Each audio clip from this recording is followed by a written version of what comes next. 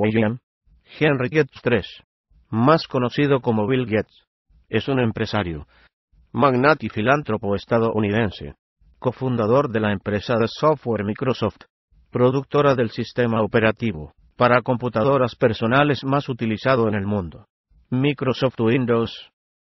Durante muchos años, estuvo en el primer puesto en Forbes por ser la persona con más dinero del mundo por poseer más de 58.700 millones de dólares.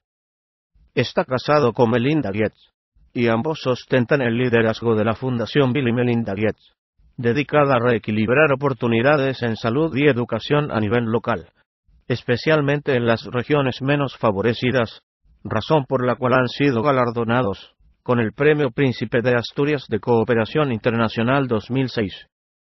William Henry Gates III nació el 28 de octubre de 1955.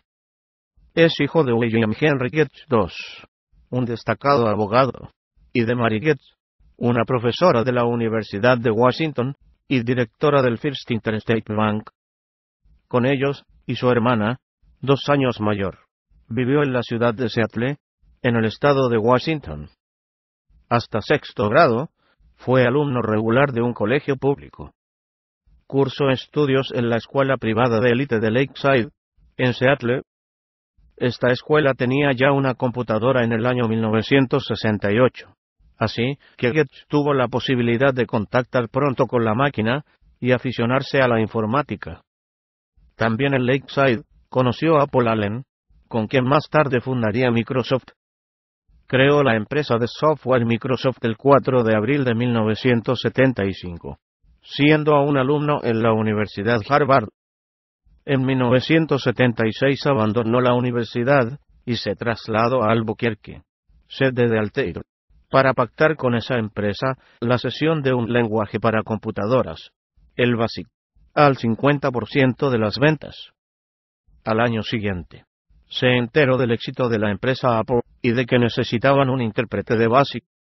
En 1980, se reunió con representantes de IBM en Seattle. Consiguió venderles el sistema operativo 2, aunque él aún no lo tenía, y luego lo compró a muy bajo precio a un joven programador. IBM necesitaba ese sistema operativo para competir con Apple, razón por la cual la negociación era flexible. Microsoft quiso los derechos de licencia, mantenimiento, e incluso la facultad de vender el 2 a otras compañías. IBM aceptó, considerando que lo que produciría dividendos sería el hardware y no el software. Unos días después, Microsoft compró los derechos de autor del Q2 a Tim Patterson, que trabajaba para la Seattle Computer Products, por 50 mil dólares, que vendió a IBM como MS2. Microsoft 2. Lo que llama poderosamente la atención fue que IBM no comprara el MS2, sino que decidiera pagar a Microsoft un canon por cada copia que se vendiera, junto con un IBM PC. Lo que pocas veces se ha dicho, es que por esos tiempos, la madre de Gates, Mary Maxwell, era directiva de la empresa United Way conjuntamente con el CEO de IBM, John Opel consciente de la importancia del entorno gráfico que había mostrado Apple, originalmente la interfaz gráfica, y el ratón, fueron desarrollados por Xerox PARC. En su ordenador Lisa, se propuso conseguir también el entorno gráfico y el ratón para operarlo. Mientras, Steve Jobs, fundador de Apple, iniciaba el desarrollo del Macintosh. Bill Gates visitó Apple. Ofrecía mejorar sus hojas de cálculo y otros programas. Amenazaba con vender su material informático a IBM, con lo que obtuvo una alianza Apple-Microsoft. Microsoft obtuvo legalmente la tecnología del entorno gráfico y del ratón, y sacó al mercado Microsoft Windows como directo competidor de Macintosh.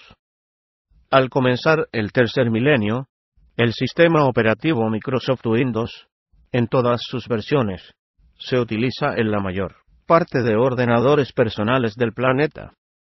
Bill Gates está primero en la lista anual de las mayores fortunas personales realizada por la revista Forbes, con bienes calculados alrededor de los 56 mil millones de dólares estadounidenses. En el año 2007, en 1994, adquirió un manuscrito de Leonardo da Vinci por 25 millones de dólares. El 16 de junio de 2006 se publica su intención de abandonar sus labores diarias al frente de Microsoft hacia 2008, para dedicarse por entero a la fundación. La transición de responsabilidades será progresiva, para evitar afecciones negativas en el desarrollo diario de la empresa, continuando como presidente honorario de la misma. El día 27 de junio de 2008, abandona sus labores al frente de Microsoft, cediendo el control de la empresa a Steve Ballmer. Inicialmente Bill Gates tendrá dedicado su tiempo al 70% con la Fundación Bill y Melinda Gates y el otro 30% a la empresa.